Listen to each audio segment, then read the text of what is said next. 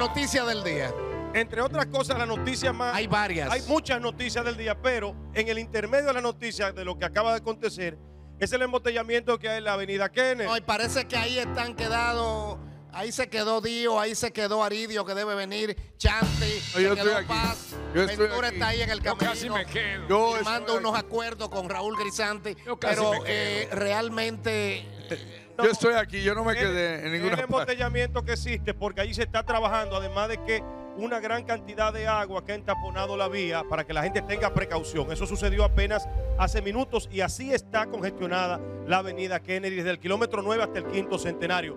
Transición, Barba, que la noticia del día es la siguiente. Hay problemas. La transición dramática, Julio, para ti, escucho.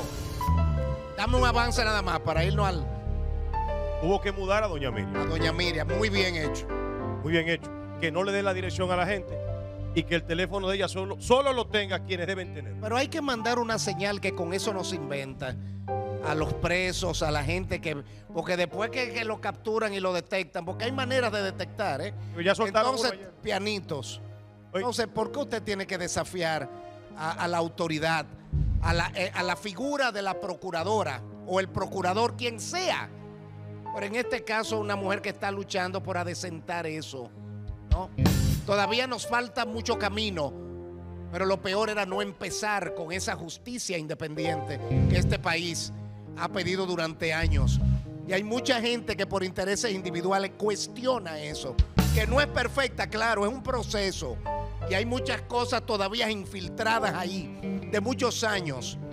Pero esa mujer, igual que Jenny Berenice Camacho, personalmente me merecen la confianza, depositarle confianza para generar los cambios que este país necesita. Había que empezar y el presidente fue valiente en hacerlo. Excelente reconocimiento a Luis Abinader. Es así. que prometió una justicia independiente y la dio.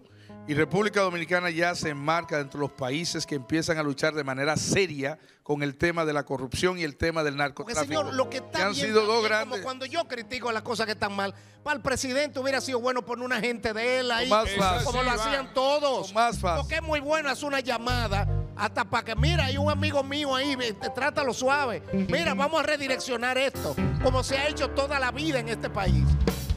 Y por lo menos ahora, yo no, yo no digo que no, pero es más difícil. Hay un esfuerzo. Bueno. No meto mi mano por nadie, nada más por mí. No, es que Pero yo sé que es más difícil llamar a Aún esa señora independiente, para pedirle un, esfuerzo. un- un asunto. Y yo sé que el presidente no lo haría. él dijo que no la llamaría y no la ha llamado. Y no la va a llamar. Y Bueno, eso no lo nadie. sabemos. No, no, no. Yo lo sé. Usted lo sabe. Claro, Bueno, pues el show sale para todos. Si usted lo sabe, yo también lo sé. Yo sé que estoy viendo la realidad, que estoy dándole seguimiento a estas noticias que preocupan a la ciudadanía.